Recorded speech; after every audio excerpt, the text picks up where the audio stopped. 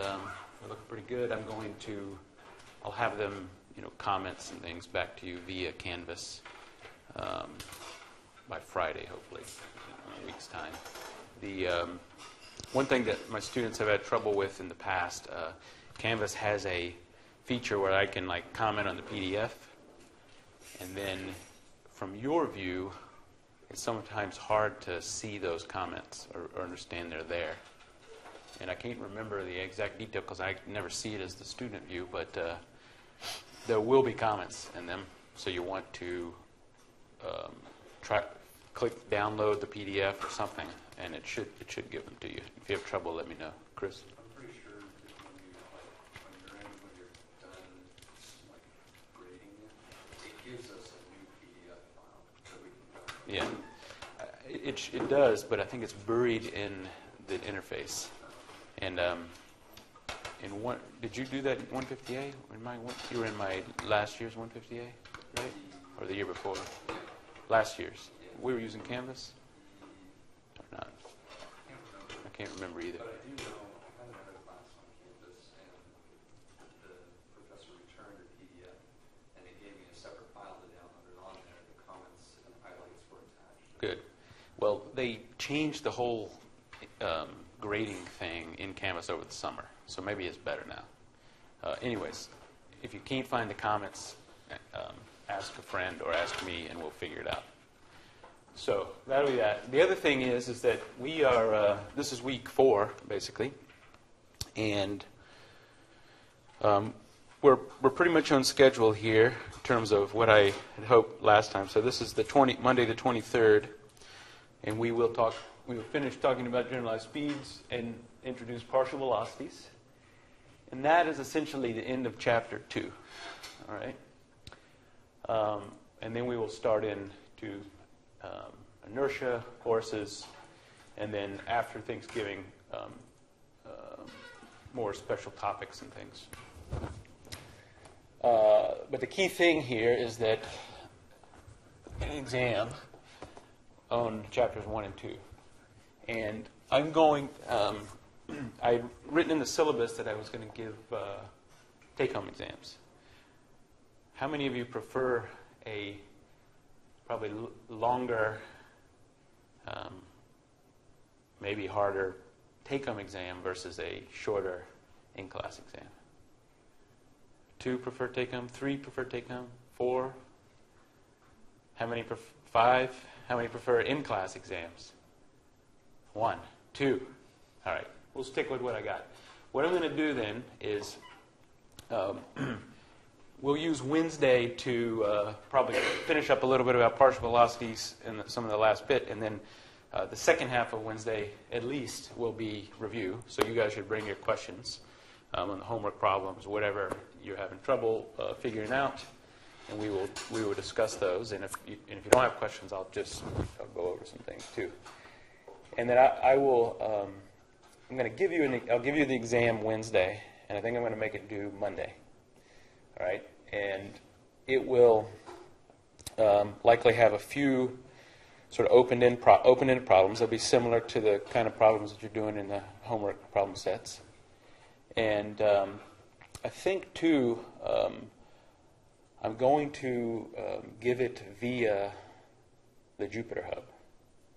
So in, in my um, in my uh, 122 class, we've been using uh, we create homework assignments, and then um, here I, I can just show you, so you can see what what to expect here. Um, if I go go into bicycle, and you've probably no, noticed might have noticed these tabs up here, but if I click assignments, right here's a homework assignment for my other class. I can fetch it, and then if I come to back to my files and refresh, and I go to that homework 3 that I just fetched, there's an IPython notebook there. And I open this up, and it has text and things, and like you're supposed to type your answers here, right? And some of them you might have to type. You might have to type some text like this, for your answer, or you might have to write a little code that displays the um, answer. Okay? So I think the exam is going to be in this, this format. I'm going to uh, create one of these that will have problems that you have to solve. Okay? And, um, and I'll share the, have the instructions written out for uh, my other class. I'll share those. Chris? So you want all of our solutions via Jupyter? all of the solutions via Jupyter. You can double you can double check them by hand and, and things if you want to do that. If you want to add an image in, you can, you know, um, you can take an image of some handwritten sketch if you need. Like if I if I ask, show me a free body diagram of this thing, and then you can um, paste it in there. Um, it's not pa- pasting, but you can uh, use the markdown format that inserts the image. Okay, but it'll mostly be um, I, I think at least 90% of it will likely, likely be use, um, use SymPy mechanics to solve a kind of problem that you're doing now. Okay? So I'm going to give it in that form. The other thing is uh, it will be, um, you can use anything you want, um, you know, any resources, except people. Okay? Um, no talking to anybody in class, nobody, no asking questions on forums, nothing, right? You can't converse with a person. And that's my that's my rule. So we'll we'll do it that way, but you guys have to honor that for me. All right? And then you'll have uh, till Monday um, before class to finish it. Any other questions on that, Chris? If we, I mean, in your 158 class, interpreting some of the problems was um, a difficulty for me. I don't know about other students, but we can ask you questions. Yes, you can ask me questions to clarify the exams, but I, I will uh, just like I would in a in-class exam. I'm not going to give you. I'll be limited on the information I give you, but I will clarify questions. Right, and you should just um, email me, or I, th- I think in Piazza you can do a private note too, private question. Um, so either of those formats. And, and in fact, if it's just a clarifying question, um, you can ask publicly on, on Piazza and, and um, uh, but do not share any, you know, uh, part of your solution or anything, right? You're not, you're not supposed to share anything that. But if you need a clarifying question, you can ask it publicly on Piazza, and I will um, answer um, as fast as I can. I'll- any other questions on what that would be? Okay, so I'll have that ready for you um, to give to you at the end of the class um, of Wednesday. All right. Um, so that's, that was that.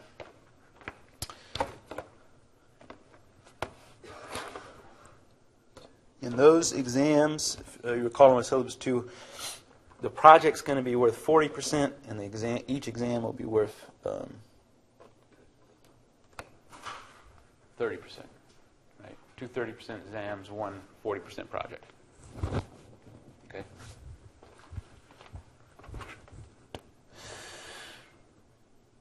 All right, so this is what we ended with last time.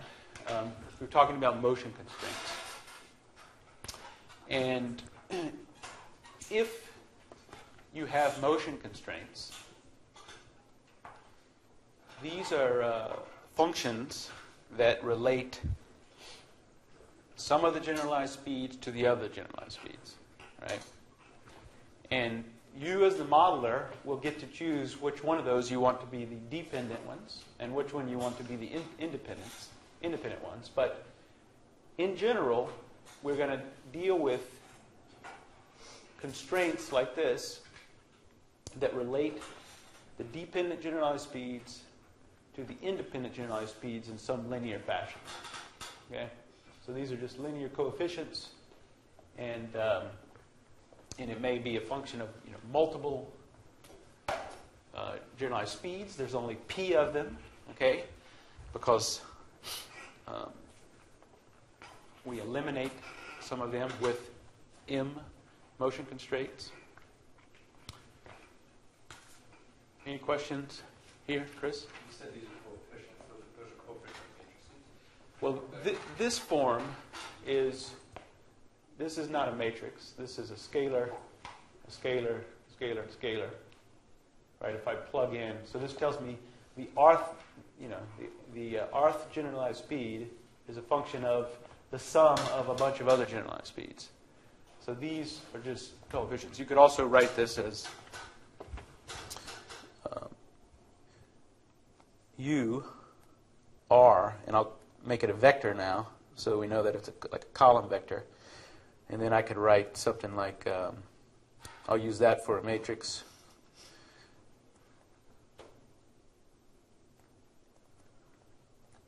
Right, matrix form.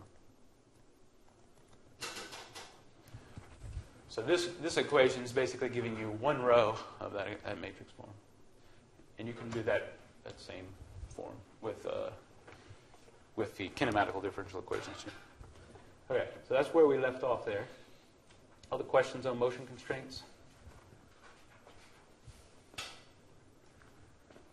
What is a motion constraint?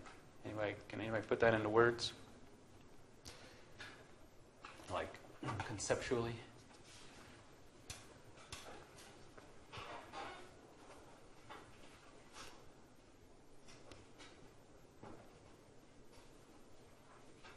What's a configuration constraint? Sort of just conceptually, what, what is that?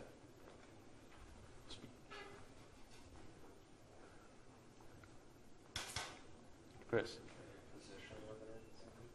A position limiter, yeah, that's a reasonable way to um, state it, right? It, it um, will enforce that the position of something will be uh, in uh, some, some, it will be in some configuration, I guess, or some position. It will enforce that the position is some value of something in your system. Yeah? Any other ways to put that, a configuration constraint? What's an example of a configuration constraint? Can you think of a system that has a configuration constraint that you've seen? The angle between like, your knee joint links, it can't tie at 360 or 60 degree. Like your leg can't go 360 degrees. Yeah, so that, um, I haven't precisely talked about that yet, but I, I have a, a, limit in the angle that I can go. So we have sort of an inequality constraint here that says theta, the angle of my knee, can't go past some value in one direction and can't go past value in the other direction. And so those are, those are effectively configuration constraints. Um, but as long as I stay in this regime, I don't have any. There's no, no constraints on my motion. It's only when I hit these extrema. So that's not a, that is a. Uh, I don't think I would. Uh, I would call those bounds on the motion, and they um, are only configuration constraints um, with a certain criteria. So, so they are a form of one. What, what's one that that, that uh, isn't just a bound on the motion?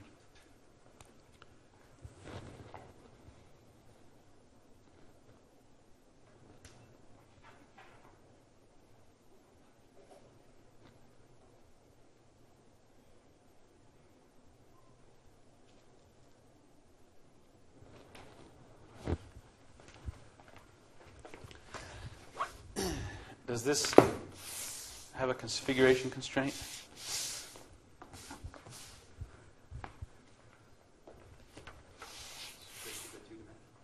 It's two dimensional, right? If I let it do this, right, it has no, no configuration constraints. But if I say it's stuck to the table, right, basically the um, coordinate that would define its position and the ones that would define its angle relative to the table plane have to be zero, right? So those are configuration constraints. So that's, that's a very simple one. How many people have um, done the four-bar linkage problem in a dynamics class? Know what a four-bar linkage is?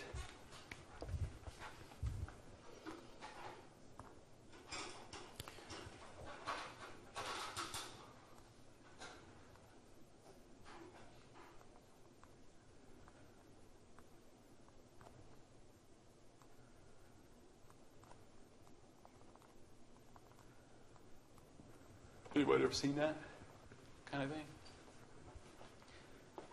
maybe? Where might you see a linkage like that? Maybe I should draw it more like. Uh,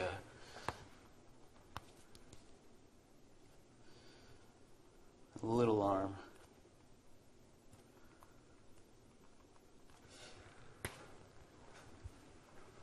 What might that model? Can you think of a real system that might, that might model?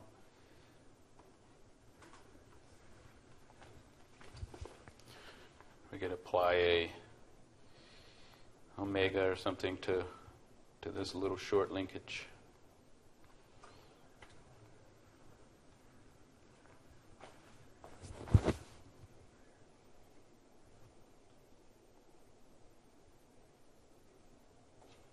Chris? I see that. I see like uh, a trains There you go. Yeah, yeah. Okay, that's a good one. Right, if I have a train wheel, right, and one's the driving wheel, right, this is the only one that gets power to it. If I connect these two wheels like so, they're going along a track, um, I basically have a four bar linkage here. And that is going to rotate about, sorry, the center of the wheels. Right. So if I put a link the center each of each wheel and let that train go, and, the, and these links were glued to the wheel, put a little. Right, I have a I have a four bar linkage there, and the reason it's called four bar one, two, three, we consider the ground the fourth fourth bar, and then here's one, two, three, but the train axle, you know, those axles are connected to each other, so there's a fourth bar back there too. Does this have a configuration constraint?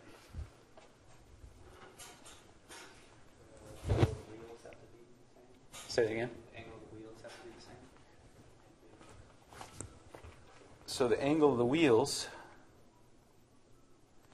if I look at some angle here,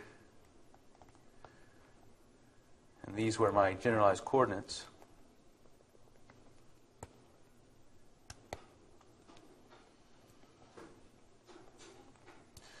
yeah, those are going to have to be the same. So that you could write it in terms of those angles that uh, they would- those would have to be the same. Another way to look at it is uh, if I draw the linkage like this, not connected.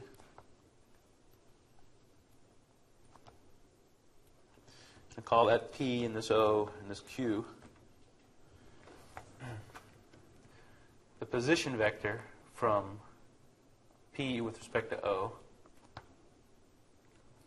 must equal what?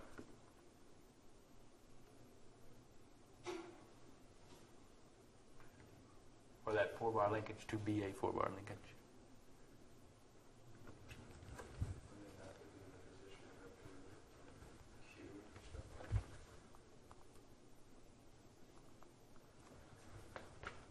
Yes. Right? That's a configuration constraint. If I say that these have to be the same, putting P where Q is, then R is some function of just the just the Q's, however we find it. Maybe we had uh, theta, alpha, gamma. Right? So I can write the position vector from O to P in terms of theta, gamma, and alpha, and the lengths of those arms. And then if I know the length from here to here, then I can make that equation, and I have something that constrains, right? That is three angles, three Q's, and we'll get configuration constraint here. How many, how many configuration constraints will come out of that equation?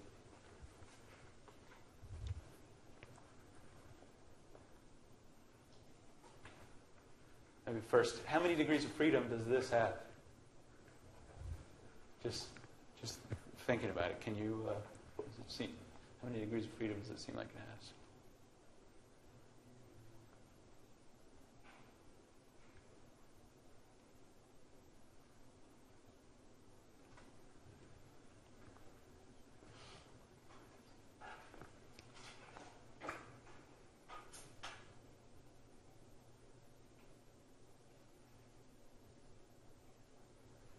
if I put this bar at different angles,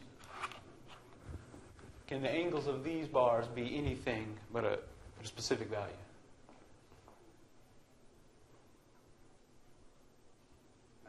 No. And if I rotate this and I hold that hold that bar still, it's impossible for me to move move the other bars, right? So I've constrained its configuration by locking that single coordinate, right? So I claim this has one degree of freedom. Here we have three q's, right? n equals three, or, or uh, coordinates n equals three. How many constraints must that equation have then? Two. Right? Right, so n is 3, must minus m, the number of constraints, must be, uh, and I'm getting confused. I'm talking, I'm using the numbers for motion constraints, but um, n is typically the minimal set, and they use he uh, in the book they use um, capital N as the non-minimal set of generalized coordinates. So if I have uh, three coordinates here, and two constraints are going to be there, I've got an x and a y position of that vector. So I'll get two scalar equations. And that will leave me with one configuration variable. So n, little n, equals 1 for this system. Right? One generalized coordinate. All right, so that, that is a, a configuration constraint also, very common. Questions on that? I feel like you guys weren't getting that. Yeah? Is, I guess what I'm having trouble understanding is, is this just an abstraction of certain things we've already done anyway? Like this kind of problem is something in 102, but we never looked at it in terms of configuration constraints. So is it just a, In 102, you sort of aren't you aren't explicit about this, right? right? And you may not you may not need to be because it's a simple problem. Um, but once you if you made this a three-dimensional multi-link thing, it's not so obvious what the configuration constraints become. So you want to uh, think about them more carefully. I think as you're as you're drafting your uh, problem. Does that make sense? So yeah, okay, yeah, just it's an explicit way of. It's still a configuration constraint, constraint in 102, even though they don't call it that then. And they may, and depending on the book. Um, they probably use the word constraint. You still have to, you have to solve that constraint to solve the problem. There's no way, no ifs, ands, or buts about that. And, uh, and they also do talk about that being a one degree of freedom system in a, in a 102 in a dynamics, first dynamics class. Other questions?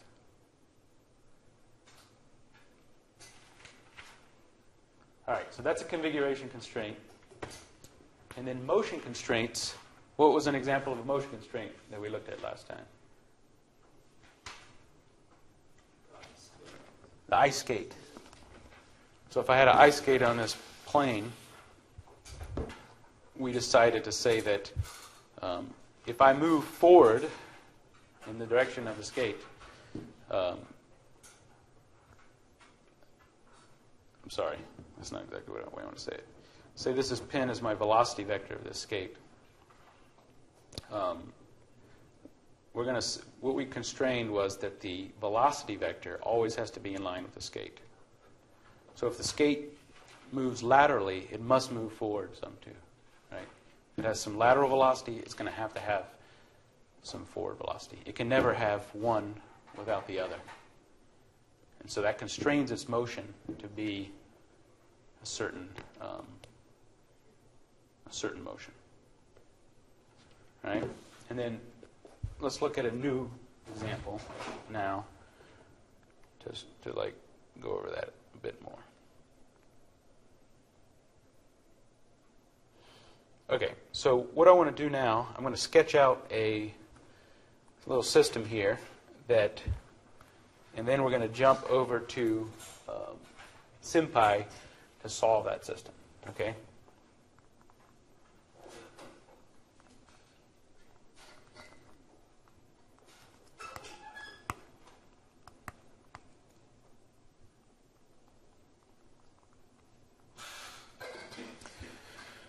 All right, so what we're going to do is uh, we're going to have a simple trailer.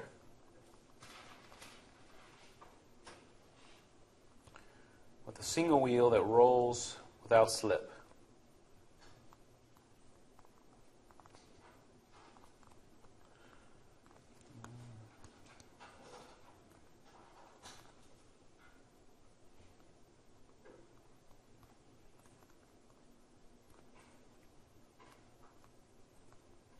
on the A1, A2 plane, and I will create a plane here.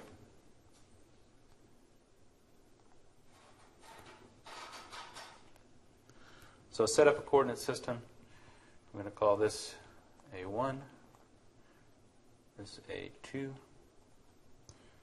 this A3. And this trailer is going to look like this. It'll have a hitch that's in the plane A, A1, A2.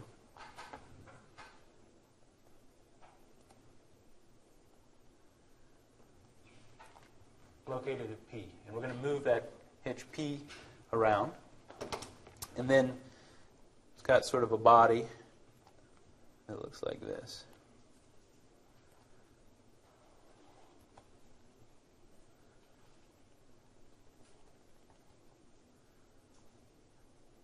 And we've got a single wheel.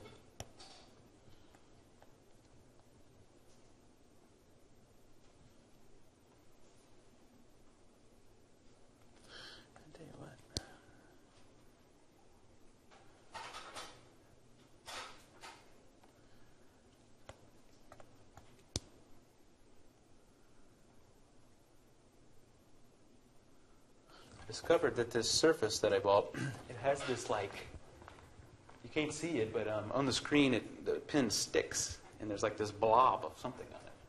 I'm gonna have to send it back, I think, and uh, it's, it's weird. Uh, and I was hitting it on there, hitting it that blob wheel, on the drawing the wheel right there. Okay, so we've got a hitch here, uh, a disc, and I'm going to call um, the disc body D right? We'll call this frame of sorts um, E and add a few dimensions to it. So the disk has a radius, big R, and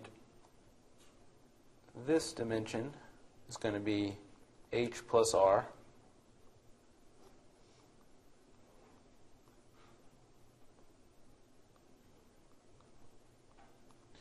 And the trailer is going to have a length L.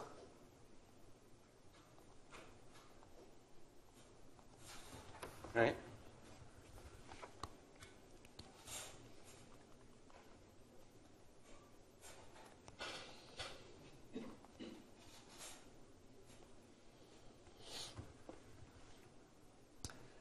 And this disc rolls without slip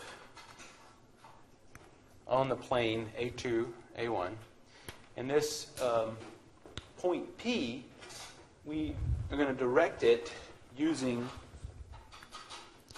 um, a vector. And I'll use uh, red. So if I draw a line from this origin here, and I create a in hat vector, the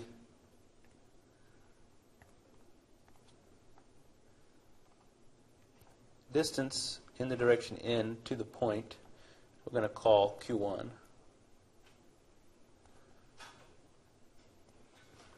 Right, a time varying variable. And um, this angle between in and the and the trailer projection of the trailer frame into the ground we'll call Q2, the second generalized coordinate. And then one more generalized coordinate. If I fix a line on D, and measure the angle between the frame, call that Q3. Right, the uh, trailer always stays vertical, um, normal to the plane. Right, those, these uh, blue lines are always normal to the plane. The wheel rolls without slip on the plane, and depending on whatever direction in is in hat, we can pull that hitch, and the trailer will follow. Okay. Any questions on that figure? And I want to label some more points. Um, I'll use blue. We'll call um, this point Q. We'll call the center of the wheel O. And then we're also going to have a, con- a point that's always at the contact point, and we'll call that S. Is that everything? Yep, I think that's everything. Questions on that? Okay, so this is a non- non-trivial example here. Um, what I'm going to do is I'm going to. Oh, oh yeah, this thing was. This thing never stays connected to the internet. Um, I wanted to show the picture and the thing. Let me let me try to connect to the internet real quick. We got an insanely long passphrase. But, uh, oh yeah. Sorry about this.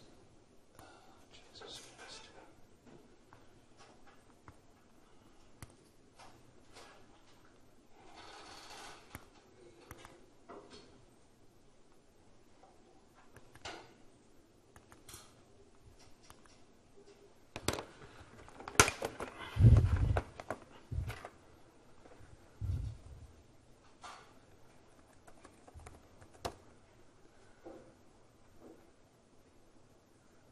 UCD.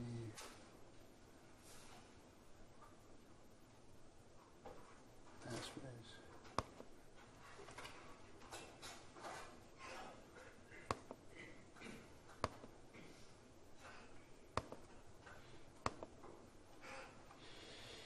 Uh, where did this thing go?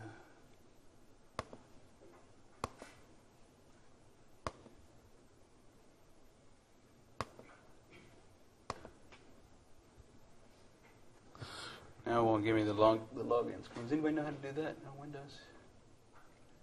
Like it was giving me a, it was asking me for my password, name and password. Now it's not. Ugh, I hate this thing. There it is. I don't know why it popped up there. J K M O R.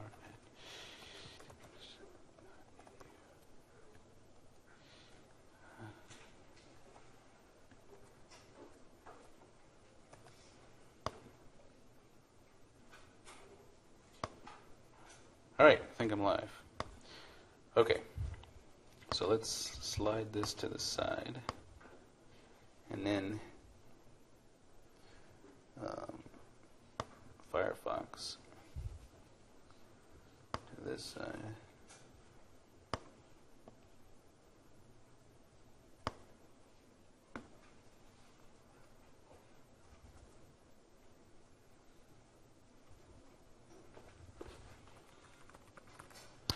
Okay, so go ahead and open up your computer to follow along with me here.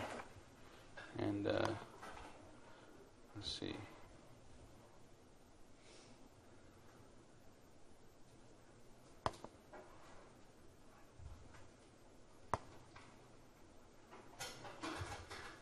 Ah. Why does it do that?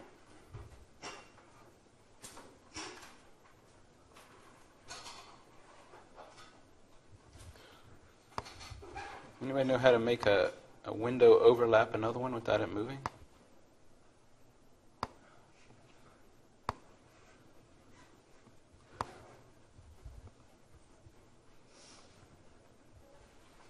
All right. Yeah.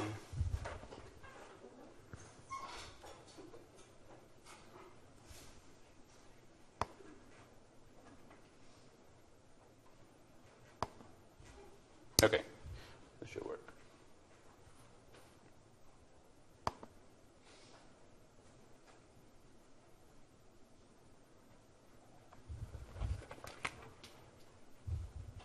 Okay, so open up a new notebook.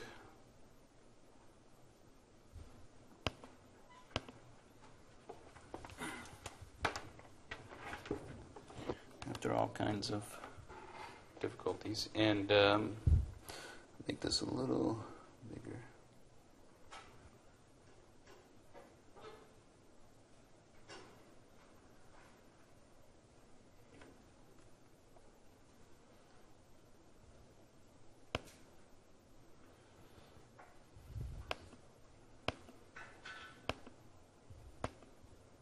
Okay. Standard imports here.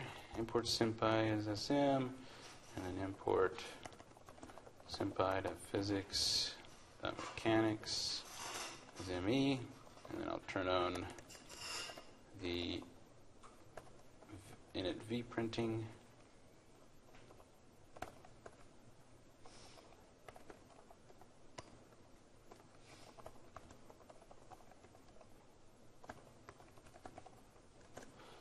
All right.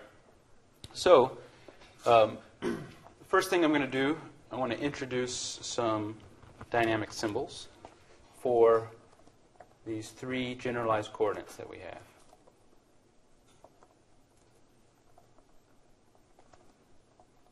Okay, so these are our time varying coordinates. And then we've got some non time varying um, variables there too L, H, and R. So I'll use just um, the symbols function to make those.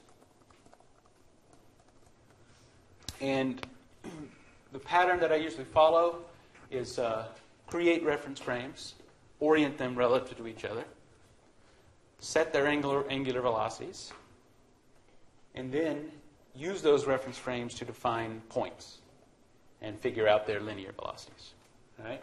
So we're going to try to find um, the velocities of the important port, port points here. In particular, um, that point S, the contact point. Right? So I'm going to call the, um, we got the background frame, call that reference frame A. And then a reference frame N. And um, notice here that I am not, I'm actually not going to orient N relative to A. I have no information. I didn't provide any information here about the angle of N with respect to A. Okay, but A is the inertial reference frame. Um, N, N moves with time, potentially. Okay, so I'm just going to create those. And then I'm going to, starting with the N frame, uh, create uh, the new frame, the ex- extra frame. So we'll say that E equals uh, n dot orient new. We'll name it E. I'll do a simple axis rotation. We need the angle. So the angle between E and N, and I didn't quite add. Uh, I wanted E to be the direction that I want it. E1 this direction. E3 that way. And E2 that way. Okay, so E1 points from where O is back towards the P and Q area. So the angle here is Q2, and the rotation is going to be about the, if we call N, we can just say that this N, we're going to, I'm going to make that NX. And then N Z will be the same as A2, A3. So I'm going to rotate um, about a negative NZ here. And that's the same as A3. So that, that'll set that Q2 orientation. And then we've got one more body, D, one more reference frame, that's relative to E.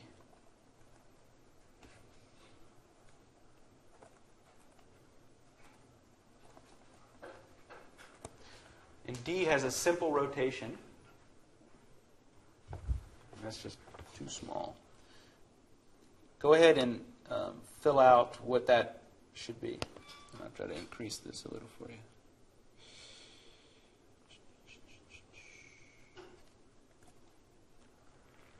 Is that visible? So E2 is the, it points along the axis of the disk, this direction. And then this is Q3 here, which gives an orientation of D relative to E.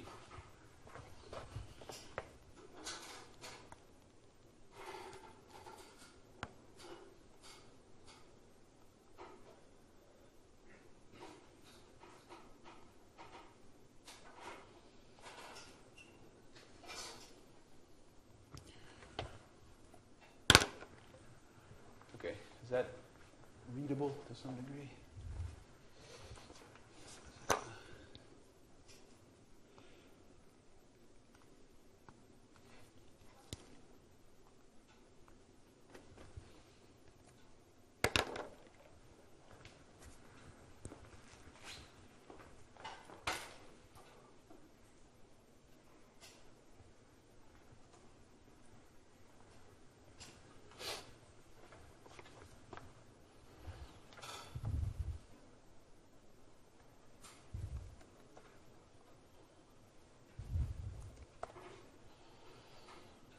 What would the what would the values be for that rotation, that orientation specification?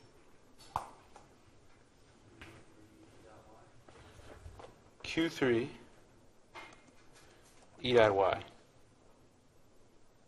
How many people agree with that? Good. All right.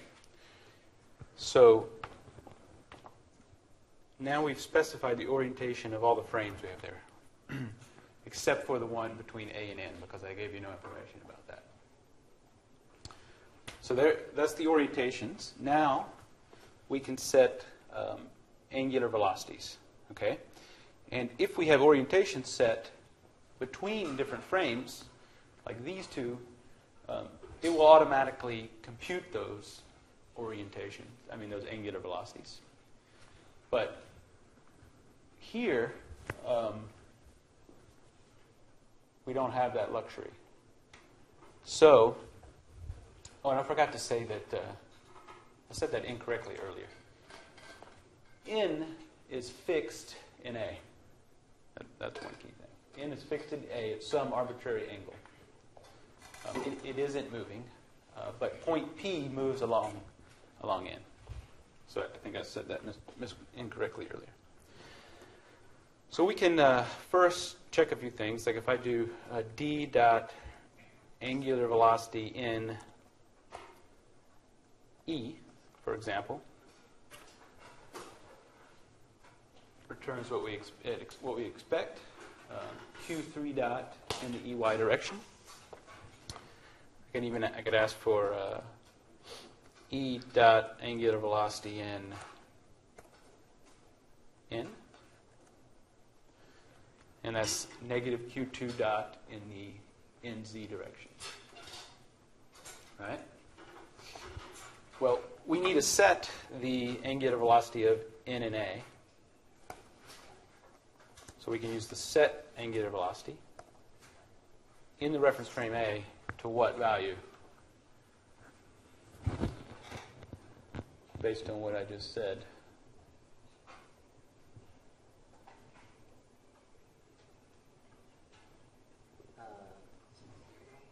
Zero. In, the in frame is just fixed at an arbitrary angle in A. So we're going to set that to zero. And then if I ask for it, it would have given me an error if I had asked for, tried to ask for it before setting it. You could, you could try that to verify. All right, so now I've set I have some angular velocities, and then I can, uh, you know, do things from d dot angular velocity and in, or all the way back to a, and it'll use that addition theorem for angular velocities and, and do that addition for me. Right? So I have the angular velocity set. Now we want to start to um, set some points. And I forgot to add one point on here. I'm going to call this origin uh, capital M. And we'll start with that. So M equals ME dot point M. And then we've got some other points, but I'm going to um, locate them. So I want to create point P. And I need a position from M to P. And I said that uh, we'll use nx as our n hat. And this is q1 times nx.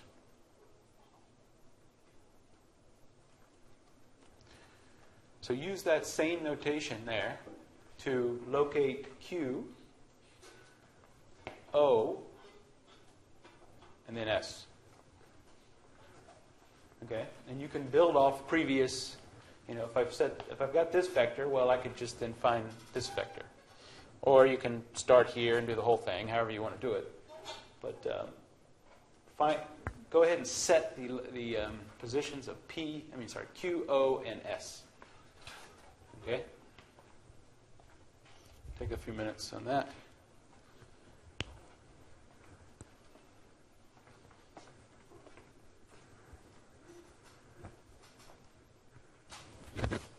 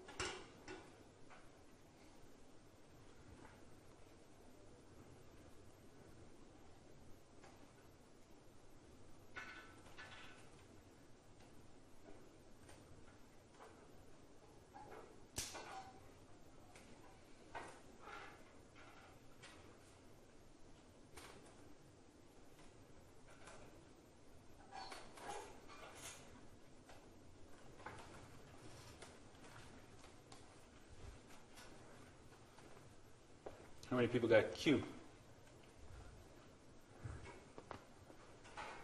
Just a few? Okay.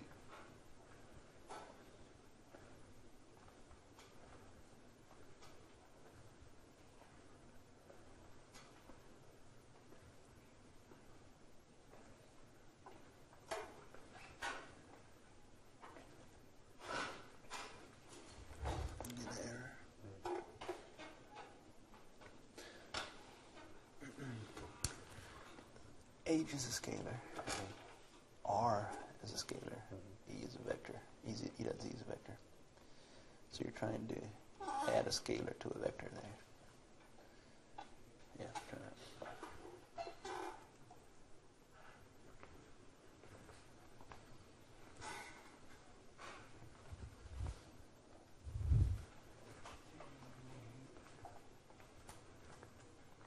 How many people got Q? How many people got O? And S? Okay, most. Just take one more minute. Try to get get all the way to S there. You can chat with your neighbor if you're having trouble. Saw at least one uh, error message so far.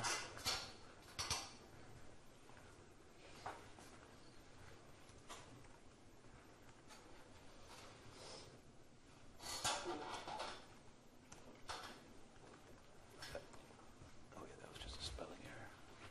Missed the E. Yeah. I think I was just missing the E. Locate.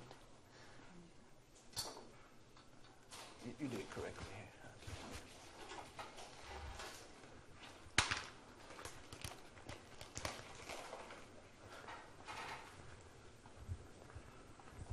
Okay. Okay, how could I fill out my Q designation here?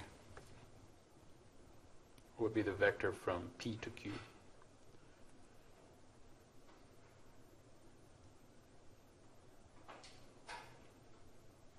You told me you had it.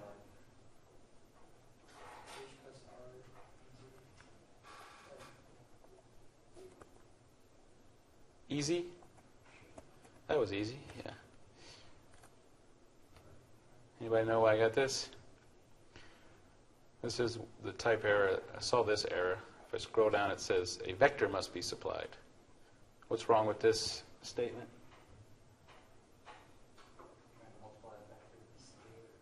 Yeah, h is a scalar, r is a scalar, ez is a vector. And so it tries to, order of operations is it'll do the r ez first, right? Because it's multiplication. And then we have a vector plus a scalar. So fix for that is you can do that, put it in parentheses. Next point is O equals, I'll locate it from Q. What should this be?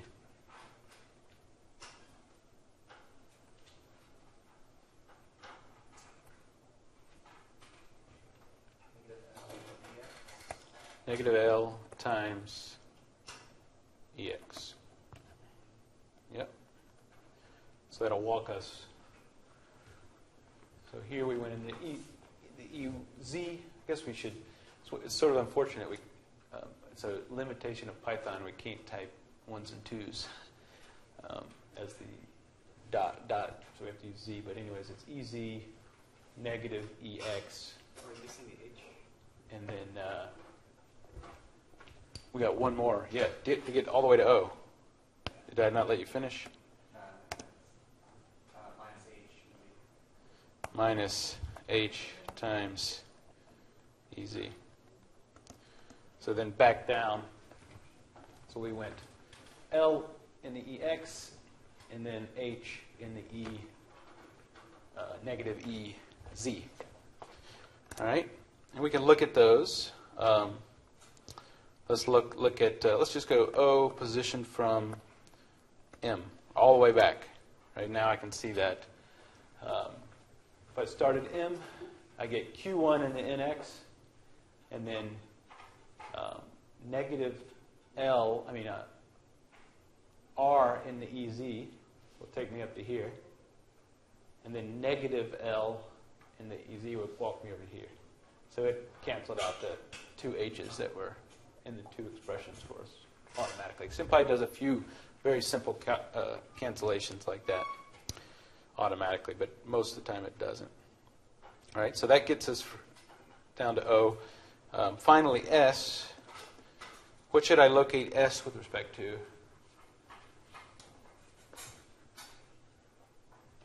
Which other point?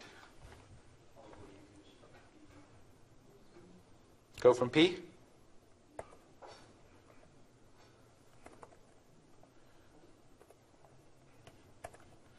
And what should that vector be?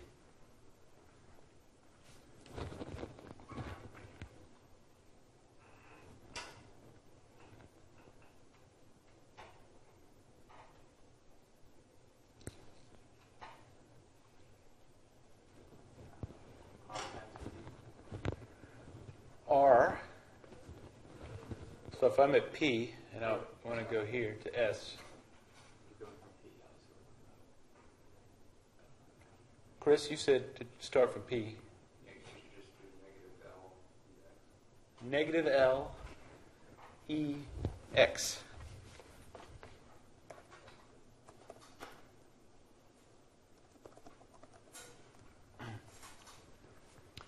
How many people chose that? Few.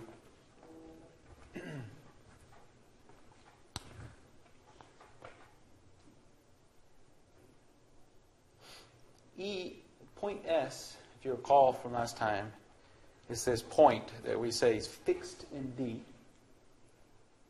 but always at the contact point. Remember that? Fixed in D, it's a point fixed in D, but it happens to be at any time instant where the wheel touches the ground. And we talked about the ro- you know this rolling motion last time. With that in mind, do you think this definition of S is going to be useful in the way we might um, need it to move further on? What are we going to use that point S for first, I guess?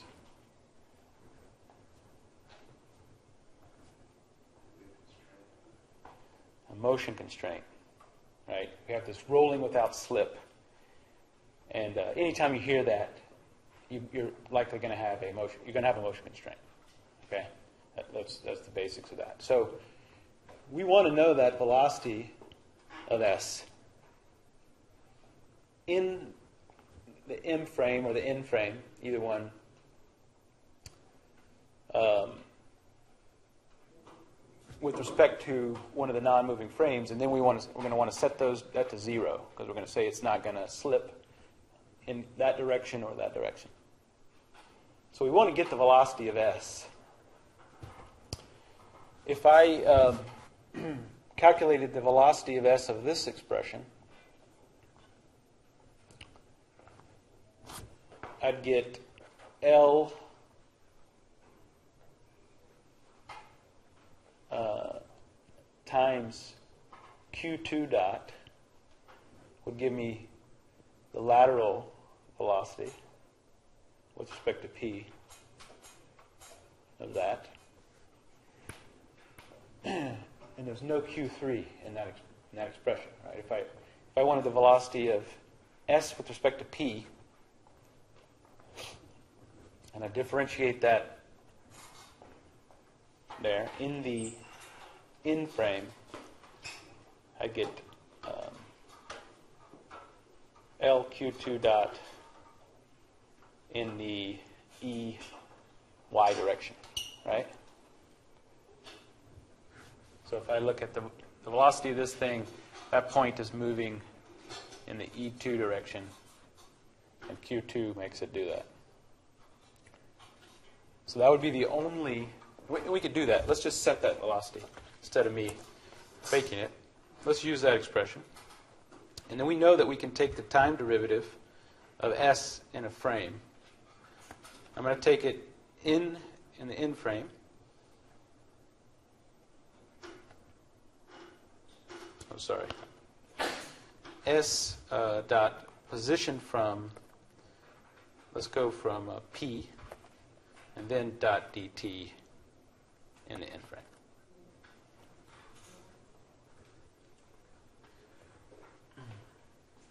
It only contains Q2 dot.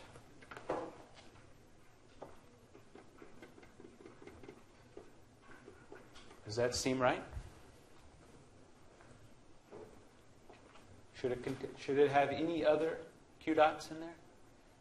The velocity of a point S fixed in D?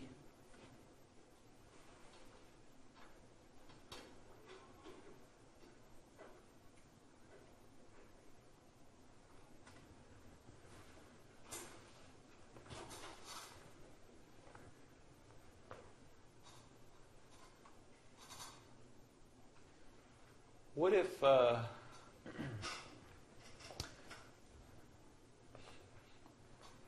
what if there were no ground and this wheel was just spinning, right? And it's not touching the ground. What q dots would the velocity of s and d be a function of? If, if it was just sort of a wheel rotating with this q3 angle in space. What q dots would uh, the velocity of s? Let me put it another way. Say if I had a uh, point here, I'll call it. If it lets me draw.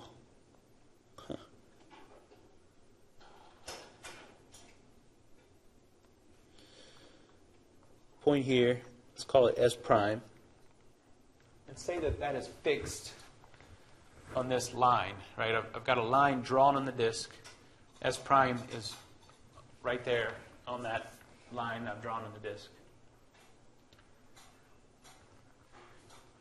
What, what q dots do you think S would be, this S prime would be in a, as a function, um, if I, if I uh, found this velocity relative to p with respect to the N frame. Can, and it can still be touching the ground there. So S is this point glued on the wheel, and it rotates with the wheel. What, what Q's, what would that, uh, what Q dots would be in the velocity expression? Hmm? All of them. Yeah? How many people think it would be all of them?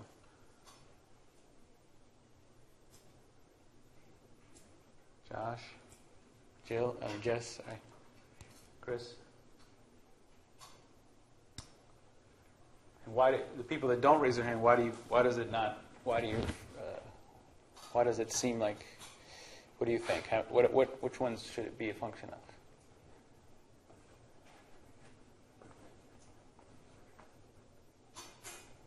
So we definitely know that p is this function of q1, if I, right?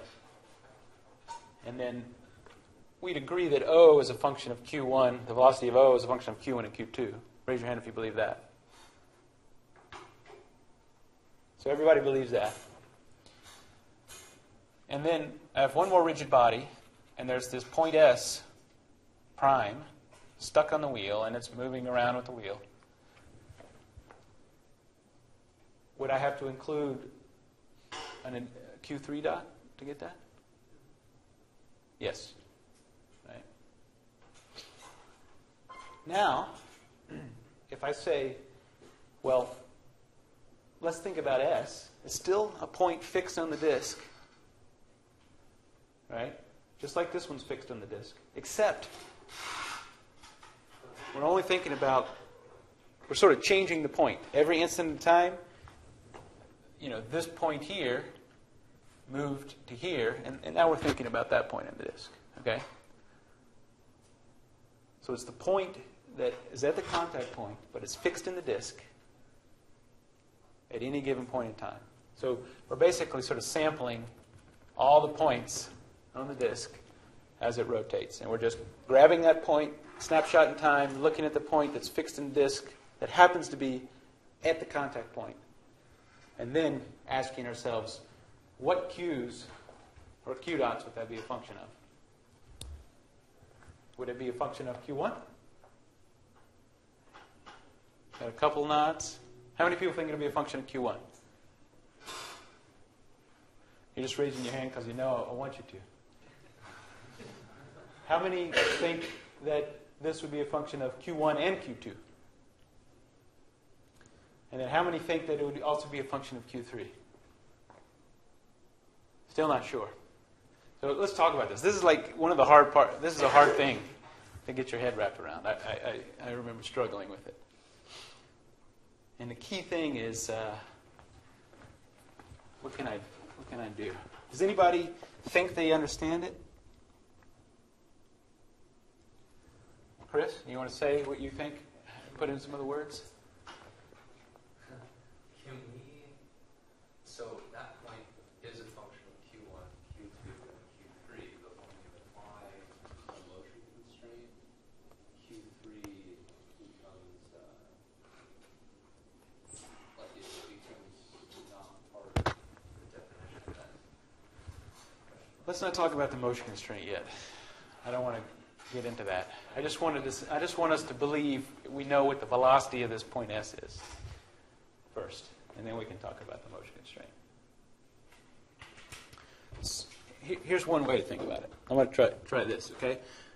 I can draw, I can fix lots of points, right? This. I'm going to call this point one, two, three, four, five, six, seven, right? And this thing's spinning. And that's a function of time, okay? And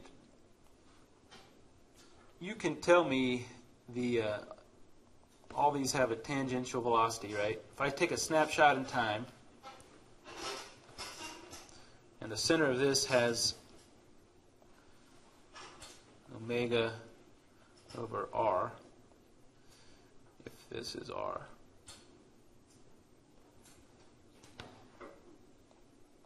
Right? Each one of these points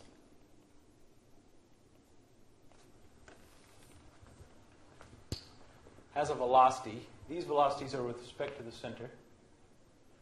And then I add whatever velocity the center of the, right, we, we agreed on this last time. So this would have 2v up here. This point would have 0. And, and this point would have a velocity that would be the sum of those two, right? Sum of these two, sum of these two. So if I take a snapshot in time and I look at all of these points, they have a velocity at that snapshot of time, right? And it's the sum of this velocity, the velocity of the center, and whatever the omega cross r term is here. Um, and I, that's not omega over r.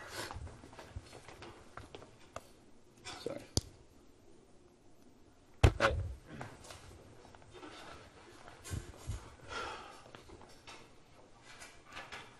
And do you agree that this would, the one at the very top would be 2v? And that this one would be 0? Okay, we all agree on that. Snapshot in time. And each of these points are fixed on the disk. So at a new snapshot in time, they're going to be shifted. Right, a little bit over. 7 might come here, 6 here, 5 here, 4, 1. Right? So we'll call this 1 prime, 2 prime, 3 prime, 4 prime, 5 prime, 6 prime, 7 prime. Okay? And that's at time 2. Those points came there. And as time advances, each one of these points will, at some point in time, be right there. Right? So every one of these points will pass through this point, this contact point. And at that snapshot in time, the velocity of each one of these points will, will be what? Zero. So if I say then that let's put a point, a fictitious point, that's always right here at the contact point. But it happens to be the point that's fixed on the disk. Okay?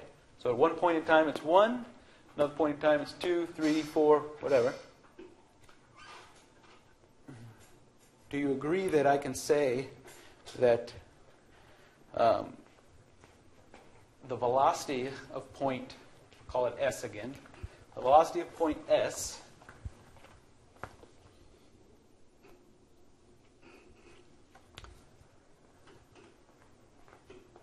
which is a point fixed in D, just like 1, 2, 3, 4, 5 are. But it always, at any given snapshot in time, it's S always is at that location. that, and then that velocity of s is going to be always zero. Does it make sense now? Why q3 would be a have to be included as a coordinate there? q3 dot. Q3 dot is a synonymous to omega, and that's in this example. And s is the exact same thing. It's just a point that happens to be located right here. And if I advance in time, one of the points fixed in the disk happens to be at that point. And I can tell you what the velocity of it, it that whatever point, ha- whatever physical point that's a piece of that disk happens to be at this location at time t, always will have a velocity of zero. Who doesn't still doesn't get that? Anybody? So do you know, does it make sense why our position vector to s should include q3 now? And that it should be a function of q3 dot? Did anybody uh, do that? So s equals p dot. Actually, what, did anybody did anybody do that correctly, or have a different way then to, get get to s? What should it be?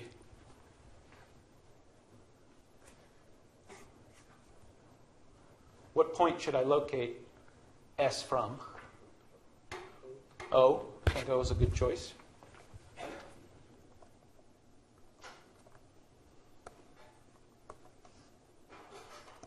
And then what should that vector be? Think my radius is r. Got erased by accident. Eh? What's the vector from O to S?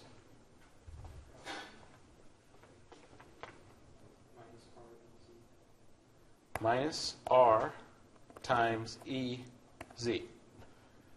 Right? So we didn't use d because the, the d frame is rotating with respect to e, e, but it's always pointing down. So we get to we can use the e. Ez is always aligned with this line. And if we go negative ez, we'll always be at that point that we're interested in. All right. So S dot position from O. Oh yeah, sorry, that was a mistake because I'm getting excited, and uh, that's position from O, and then S dot position from M equals that, and then if I do S dot um, position from M dot dt in N.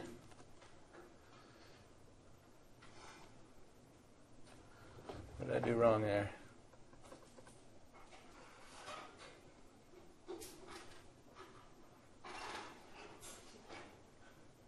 Oh, I forgot. Um,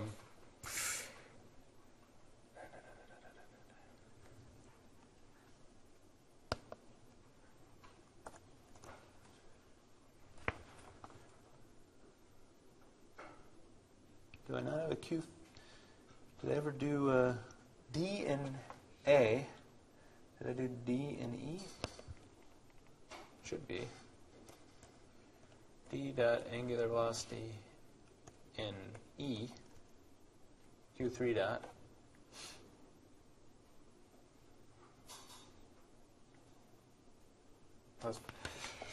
Maybe I led you guys down a, a long goose chase there, and I'm confusing myself. Um, I think S should be expressed in the coordinate. if I express S and B In D, and D, but I don't know how to express that. But it doesn't. Actually, I think I think I may have said wrongly that. Uh, what am I missing here? Let's. Uh, we're, we're already past the break. Let's take five minutes, and um, I'll see if I can figure out where the heck I went in this path and, and, and uh, undo myself. But uh, I think we're. This is this is correct. That we need to uh, go from O It doesn't have a difference from what Yeah. Trying to think what I'm. What did I screw up? I think it's Uh, I think what it is is that you have to do. We got to say that S are both in D, right? So I can go from O. We want the velocity in N or A, and they're both in D. So I'm missing something. Point O. Oh, there's one problem. So first I've got to say that M dot velocity, set velocity, and N is going to be zero.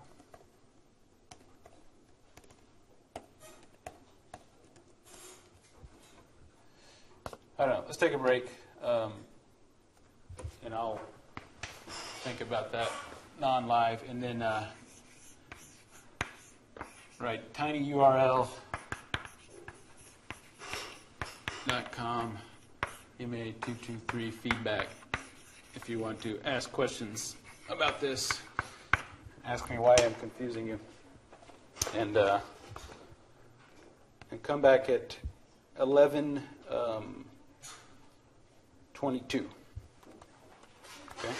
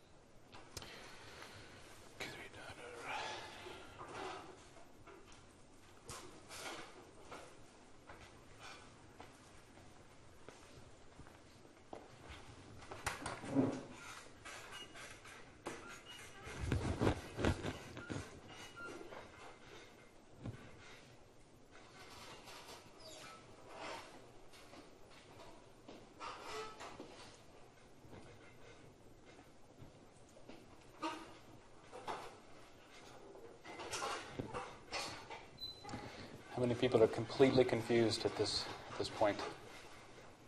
Yeah, I uh, I'll I'll correct myself. I told you I told you wrong.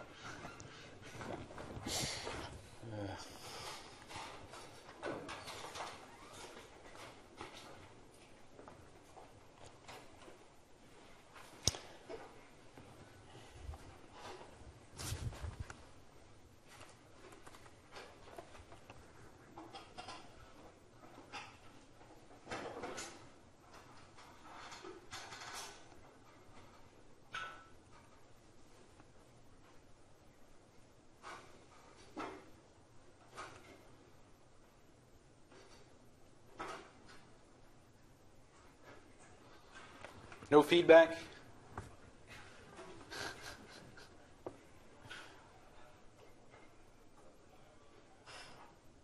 All right, so what I was, I was incorrectly saying something here. And um, Chris's definition, which was line 32 here on my, this input 32, is fine. And um, this is also fine. What I was confusing in my mind is that I was trying to convince you that that position vector had to be a function of the coordinate, Q3. All right, and it, and it doesn't. It's not. But the question that I sh- should have been properly articulating was should the velocity of point S be a function of Q3 dot? You say no, Gong?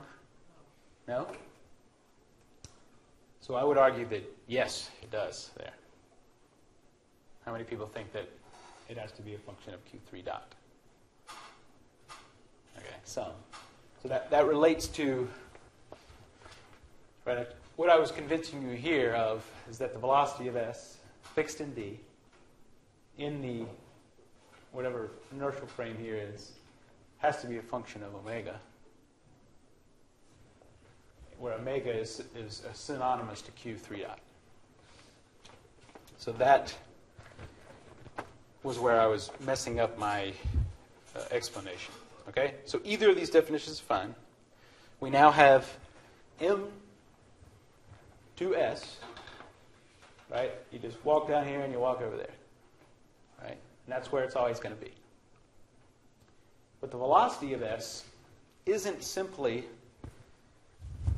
can't just do what I did before, which was S dot position from M dot dt in n, for example. This, this velocity is not the velocity of the point of interest. Right?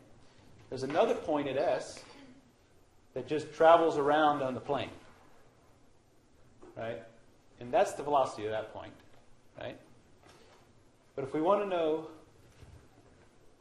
and form this motion constraint associated with the velocity of the point of d fi- uh, of the point fixed in d, then that's not going to help us get there. Okay?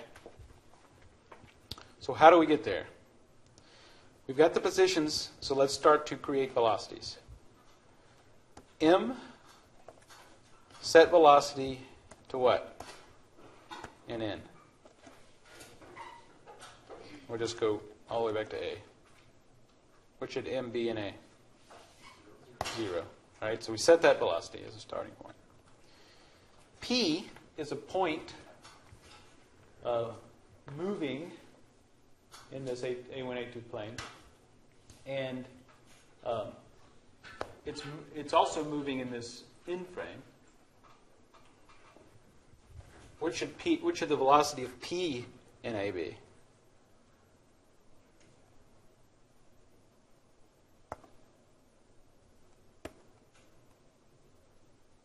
Any thoughts on that?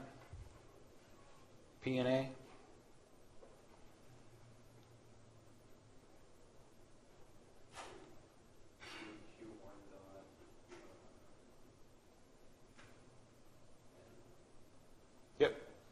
That's all it would be.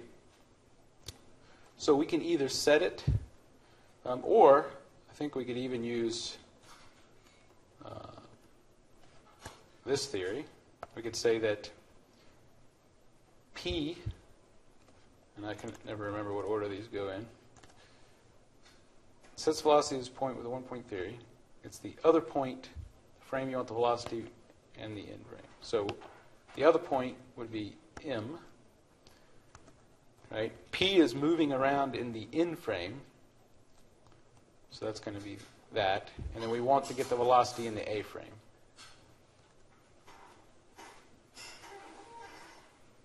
Velocity of point P has not been defined in reference frame N.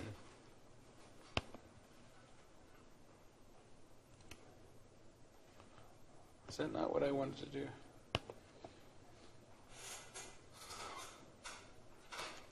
Doing these in the wrong order? Outer frame, frame we want this point's velocity defined in, and the intermediate frame of the calculation. Let's just set this one, since we know what it is. I'm confusing myself further.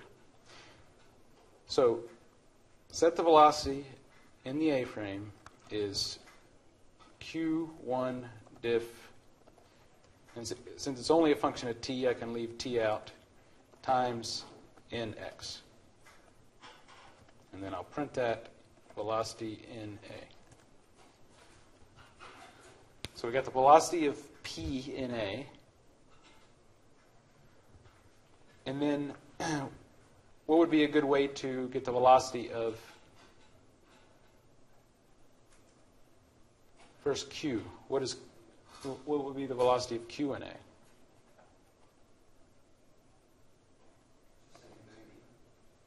Same thing. So we can just say q, set velocity in A Q and diff times nx.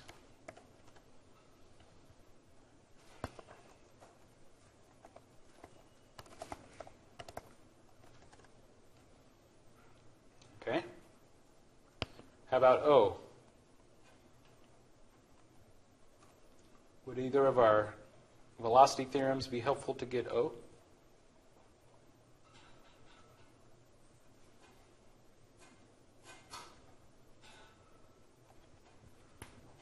Two-point theorem? Two point theorem. What point would I use to reference? P or Q, both are fixed in E, and O is not moving with respect to P or Q in E. So we can use the V two point theory. So I can say O dot V two point theory with respect to, I'll just do Q. We want the velocity in the A frame, and they're both in what frame? E frame. So that is the velocity of O. Okay? Take a minute and manually do the, the V2 point theorem and see if you get the same answer, right? So recall what that is and use the diff and dt commands as needed and, and explicitly calculate the V2 point theorem there and see if you get the same answer.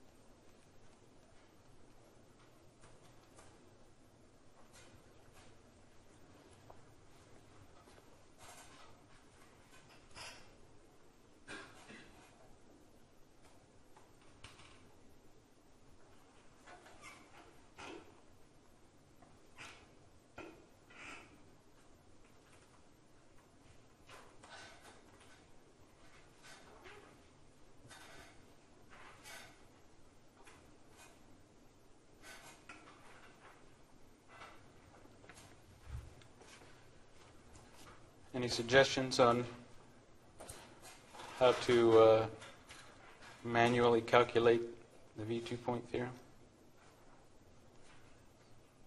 For this point?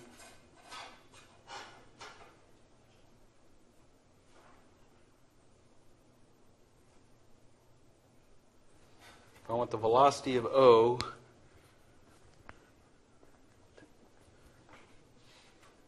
with respect to the reference frame A, what is the what's the first part of the V2 point theorem?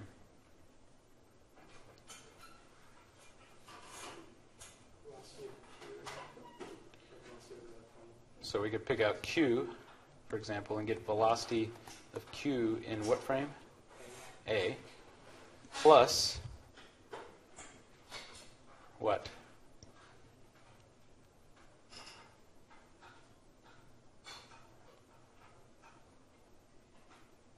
Both points are fixed in what frame?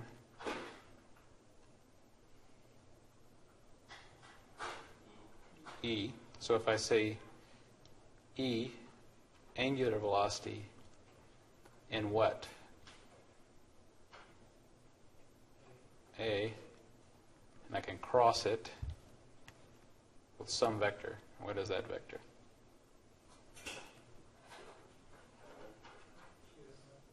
Q to O. O dot position from Q.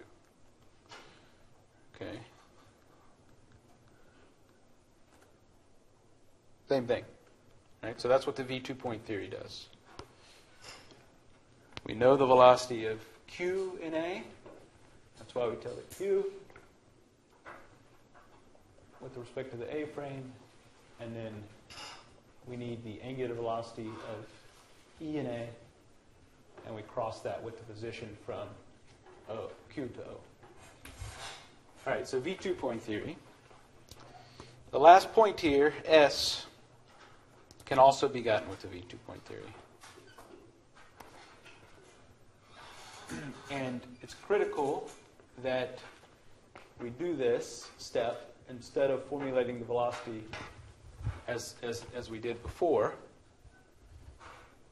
Notice this S position from M, dt, and N doesn't contain Q3 dot. And I'm claiming that it needs to contain that. So fill out, fill out that one, uh, this V2 point theory, to ensure that you get a velocity of point S, which is a point fixed in D, in the A reference, with respect to the A reference frame.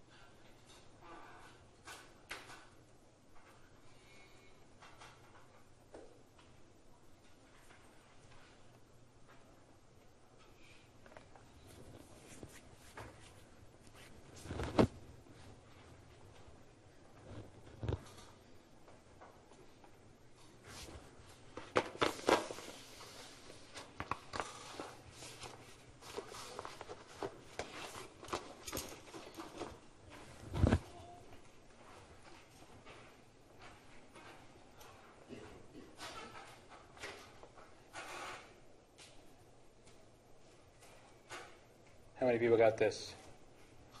One, two, three, four, five.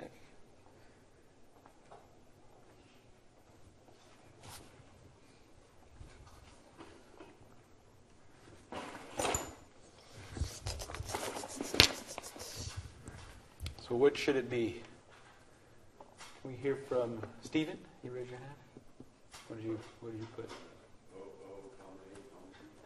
O, comma Comma D. So both points are fixed in D, both O and S, and we want the velocity in the, in the A frame.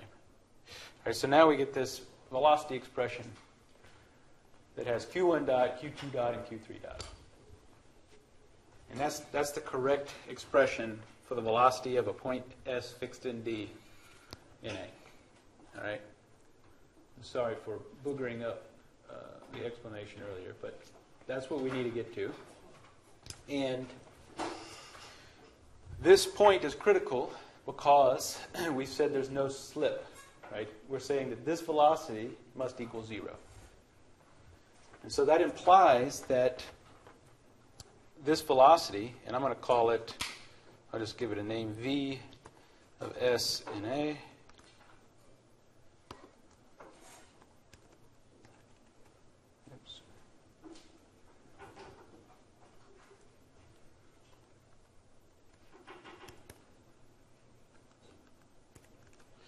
V of s in A. If I um, now dot that with the E2, the EY direction. That says that S can't slip in this E2 direction.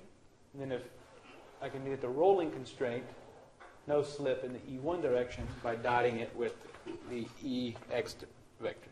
V, S, and A dot E dot X. Right? So that gives me two scalar expressions here.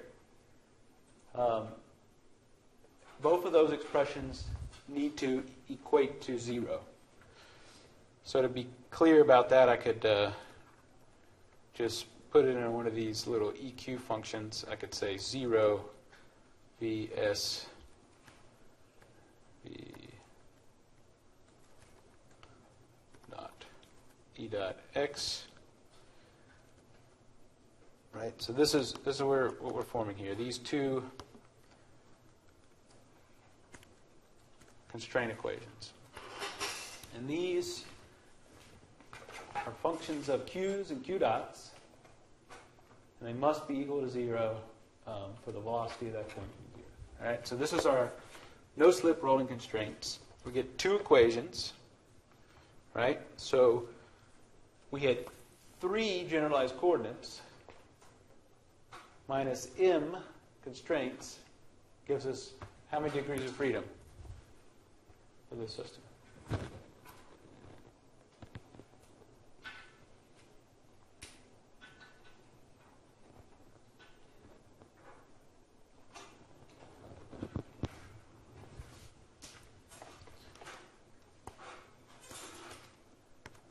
How many constraints? Two. P equals m, sorry, n minus m. And that's the number of degrees of freedom.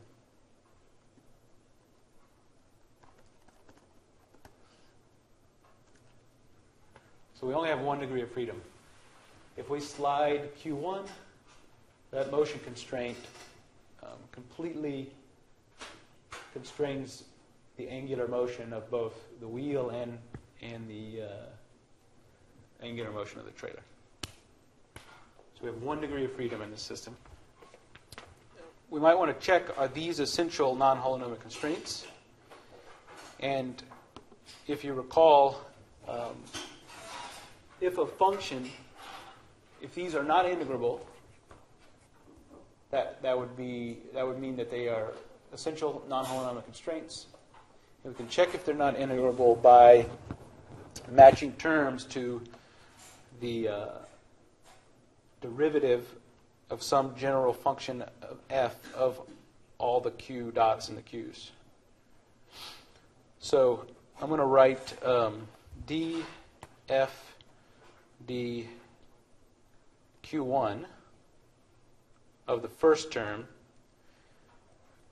is 0, right? I'm sorry, is uh, sm cosine of q2.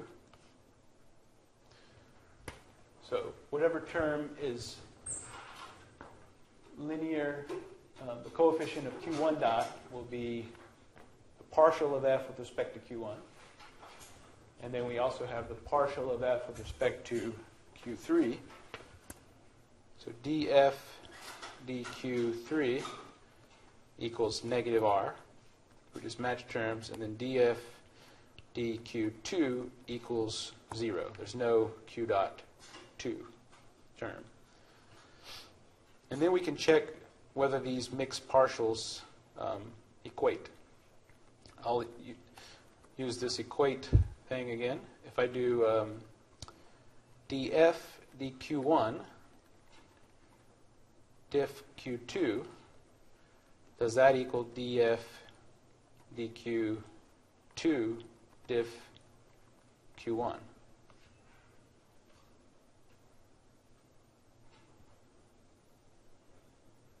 Oh, yeah. Notice that it says an integer. I can't. It doesn't have a diff,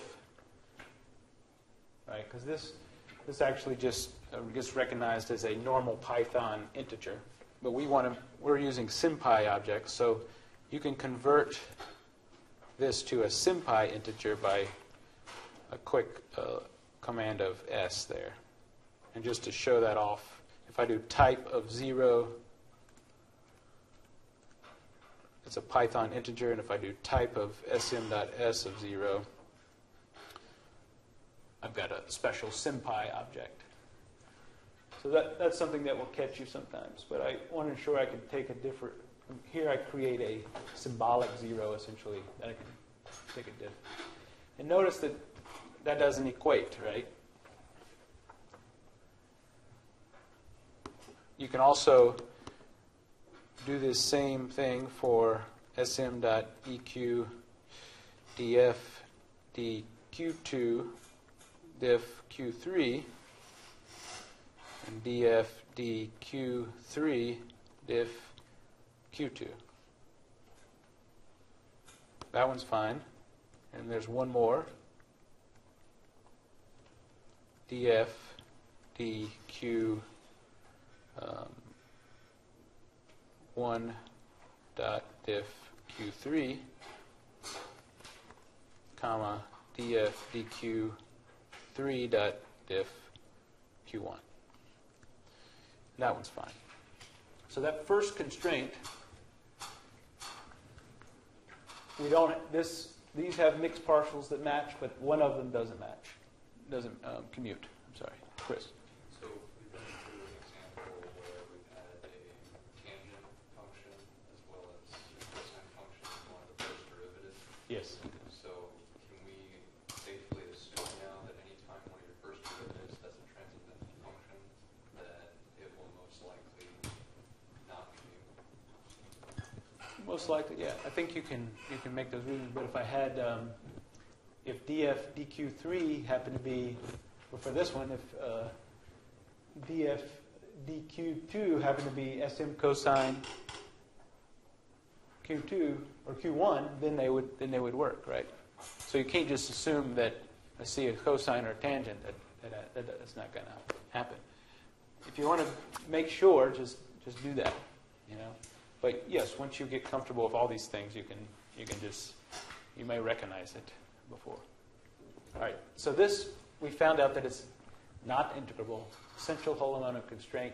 You can do the same thing with um, that o- that other one. So we we just checked the first one. This expression. You also have to check that expression potentially. All right, so that's how we, we do that. Last thing, um, we have uh, one. You could introduce a. Um, I'm going to say I'm going to int- introduce this relationship.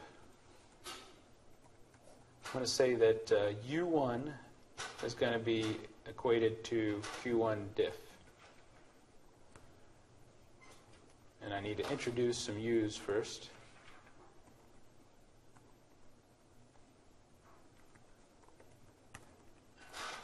This is dynamic symbols. They're functions of time. U1, U2, U3. So some generalized speeds. And here, I can define the relationship for one of them. I'm just going to say that U1 is defined as Q1 dot. Right? And then um, we know that we have three generalized speeds, but only one is independent because there's only one degree of freedom, and two are dependent. If I um, take one of, did I name these up here? Let's take one of our, take our constraint equations here. Just copy that and bring it down.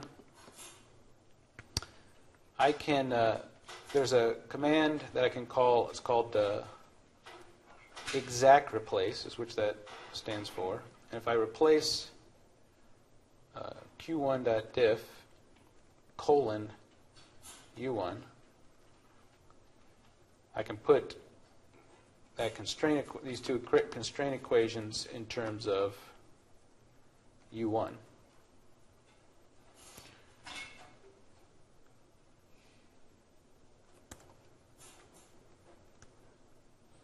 Right? And I'm going to name them too. I'm going to call this non-holonomic constraint equation 1.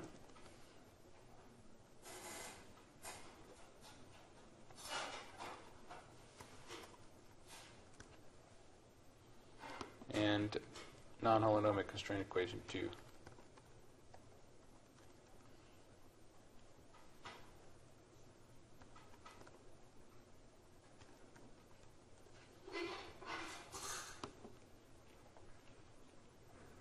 Okay, and I'm going to call, I'm going to make the choice and say that U1 will be my um,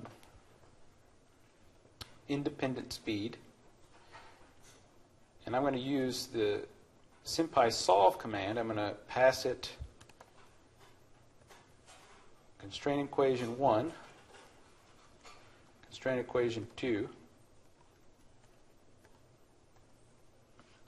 in a list. And then I'm going to say solve for Q1 diff and Q2 diff.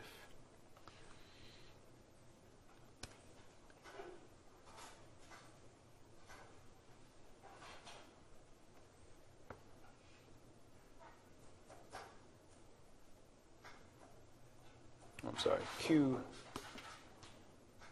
diff and Q2 diff. Those are the only two equations in there. So if I, if I do that, then I can see that um, Q2 and Q3 dot are functions then of this one independent generalized speed that I've chosen.